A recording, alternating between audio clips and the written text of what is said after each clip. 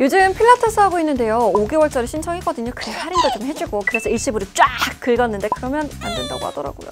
요가, 필라테스 관련 피해가 매년 늘고 있기 때문이에요. 한국소비자원에 들어온 피해 구제 신청이 3년간 830건이나 있었는데요. 그중에서도 계약을 해지했을 때 돈을 제대로 돌려주지 않은 피해가 대부분이었습니다. 운동 특성상 몇 개월 등록하는 경우 많잖아요. 중간에 관둔다고 하면 이런저런 이유 들어서 해지 못하게 막거나 과도한 위약금을 물게 했답니다. 환불할 때도 사업자 마음대로 계산하다 보니까 소비자는 불만이 생 겨도 뭐라고 못하기도 하고요. 처음에 등록할 때 계약 내용, 특히 환불 규정을 꼼꼼히 읽어보고 사인하는 거 잊지 마세요. 운동 다 다닐 때까지 계약서 잘 보관해 두시고요. 저처럼 하지 마시고.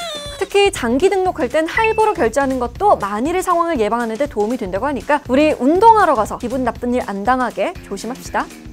퇴근하고 집에 뻗어 있는데 갑자기 회사에서 이런 카톡, 요런 카톡이 계속 울린다면 아, 아, 생각만 해도 끔찍하죠. 그런데 이런 끔찍한 지시를 법으로 규제하는 게 요즘 세계적인 트렌드래요. 부장님 보고 계세요? 최근 미국 뉴욕시는 퇴근 후에 받은 연락에는 응답하지 않아도 되는 법안을 검토 중입니다. 일단 보내는 것 자체는 막지 않지만 직원에게 확인을 강요할 수는 없다는 거예요. 만약 강요하다 걸리면 기업 측에 벌금을 부과하는 방식인 거죠.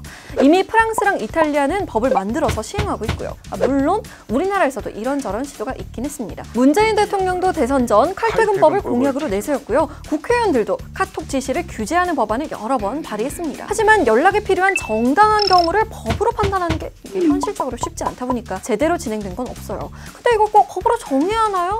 그냥 좀 하지 말지. 이 음악 어디서 많이 들어봤죠? 얼굴을 가린 살인마가 무차별적으로 사람들을 죽이는 슬래셔 무비의 원조 70년대 영화 할로윈의 대표적인 테마곡이에요 이 영화가 올해 후속작으로 다시 돌아왔습니다 사실 그간 다양한 후속작들 많이 나왔긴 했는데요 이번 영화는 좀 특이한 게 그 후속작들은 없는 셈치고 원작 시점이 78년에서 40년이 지난 후를 다룬다는 거예요 40년 전 주연 배우도 그대로고요 이 고전 배경음악도 조금 업그레이드해서 그대로 썼대요 하지만 살인마에 의해 무기력하게 희생당하는 피해자의 모습은 달라졌습니다. 주인공 로리의 딸과 손녀까지 포함해서 세명의 여성이 똘똘 뭉쳐서 대항하는 모습이 나온다고 하니까요. 공포영화 매니아분들 보시고 후기 좀 남겨주세요. 아, 저 궁금하긴 한데 못 보겠어요. 저번에 국회에서 벌벌 떨었던 고양이 기억나세요?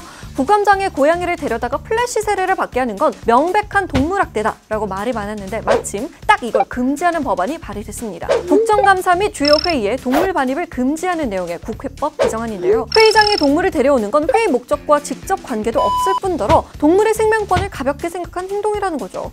고양이도 고양이지만 국감 때마다 무의미하게 이런 거 저런 거 가져오는 모습들 참 보기 불편했는데 특이한 걸로 관심 끌기보다는 좋은 내용으로 주목받는 게 훨씬 바람직하 겠죠? 여러분 할로윈에도 일살구구도